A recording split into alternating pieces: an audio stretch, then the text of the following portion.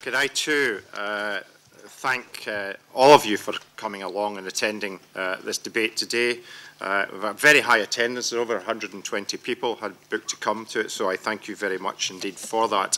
Uh, this is a very, very important issue and one that has uh, uh, two sides to it, uh, and uh, I don't think we'll get consensus here today. But uh, I hope the debate is going to be informative in the first instance. Uh, that's the most important thing. Uh, we all know that the future of GMO cultivation has caused heated debate across Europe, with strong opinions, as I say, on both sides of the argument. Uh, I believe it's vital for farmers, consumers and the environment that the current impasse we have in decision making on GMOs and their authorisation and indeed uh, whether farmers can plant them or whether consumers can buy them in the shops or not, as the case may be, it's very, very important that we try and make sure that we see, see progress take place on this important issue. The aim of the debate is to hear from the scientists on both sides of the argument, but I also should point out it's not for us as politicians to decide on the science.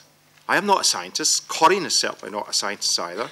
And none of my colleagues, I think, with maybe one or two exceptions, are scientists. We're elected to listen to the evidence and take decisions based on the evidence we hear from the scientists on what the best economic, uh, the best scientific facts are and what the recommendations might well be. Uh, we should also remember that decisions on food safety must be based on the best scientific evidence available. If we move away from that central principle, I believe that society runs the risk of making decisions on food safety based on what is popular rather than on the facts. Uh, and once we get into that type of territory, uh, as certainly we discovered in the United Kingdom over the BSE crisis, then you are in very, very difficult territory whatsoever. It's impossible to give reassurance to consumers, taxpayers, uh, about the safety of the food that they eat. So scientific fact must be fundamental uh, in the decision-making process that, uh, that politicians are elected to put in place. Uh, it is our role as politicians to come to a view whether, uh, I guess, EFSA has listened to and taken into account all of the scientific opinion and I mean all of the scientific opinion, in making their decisions on the safety of GM crops for both, environmental, for both environment and the public health. We're here to decide on the evidence that we might hear, whether EFSA evaluations are robust and reflect the scientific consensus, and whether those scientists who disagree with the consensus have had their views properly taken into account, properly evaluated before EFSA come to a final decision. And it seems to me that's the fundamental question that we want to address here today. Has all the scientists' views been listened to? Have they been properly evaluated?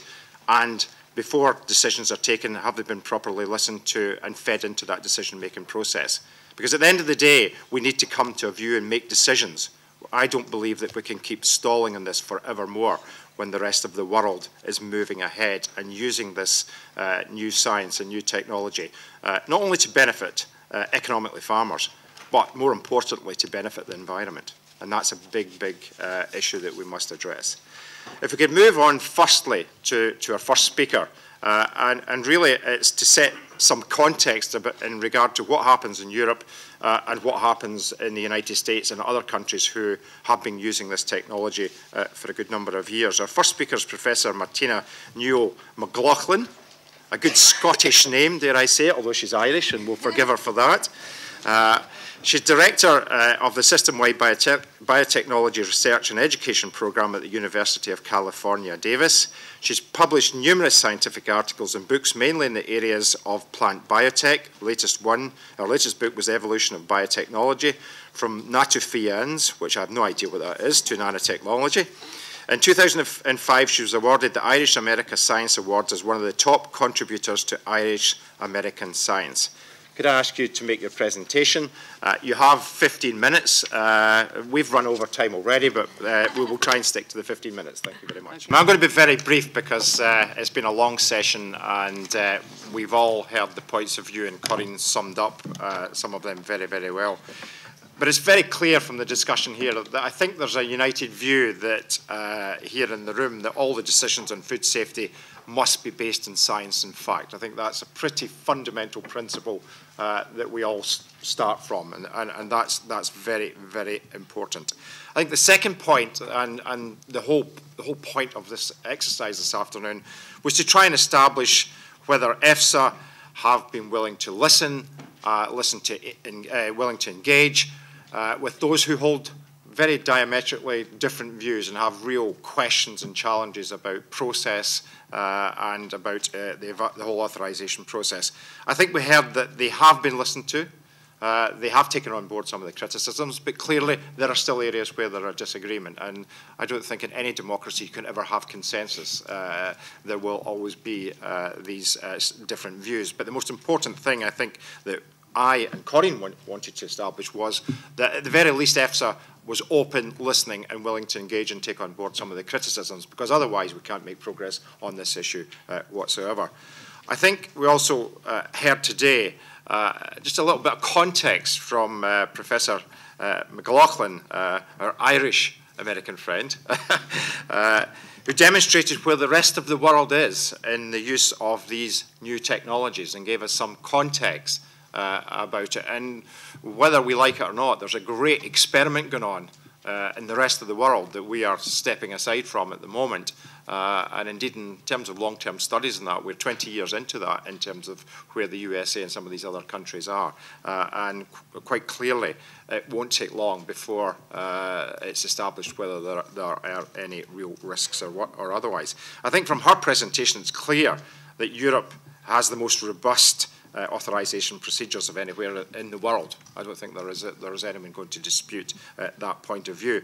And I think it's worth remembering that there is no such thing as zero risk. You're all at risk sitting here. The roof may fall in you. You may walk out this building, cross the road, and get knocked down by a bus. So zero risk, and, and being able to prove that there is no risk whatsoever, uh, there are propositions that clearly are untenable. And I think we should have that in the back of our mind in discussing uh, a risk-based approach to any new technology, to any uh, new uh, methods and practices that uh, the humankind uh, develops.